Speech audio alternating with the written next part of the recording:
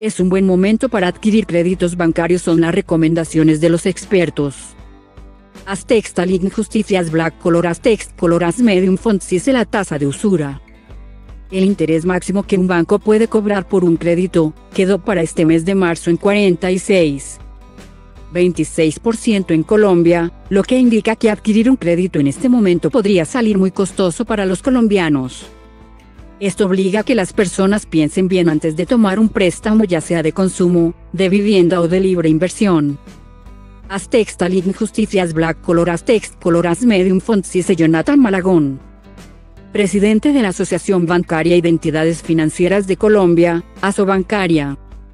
Afirmó que por la desaceleración económica del país y las tasas de interés altas es normal que haya un decrecimiento en el otorgamiento de créditos en las entidades bancarias.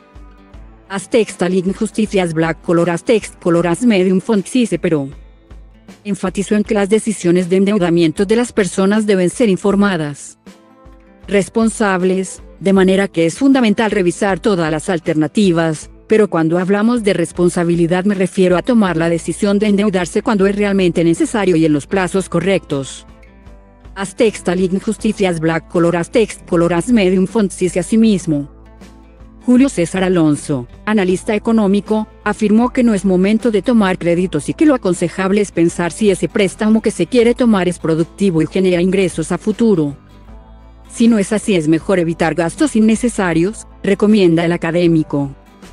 Aztecs Injusticias Black Color Aztecs Coloras Medium Fonts la política monetaria en este momento está buscando reducir la inflación y disminuir de cierta manera, el impulso de hacer compras en las personas imponiendo altas tasas de interés.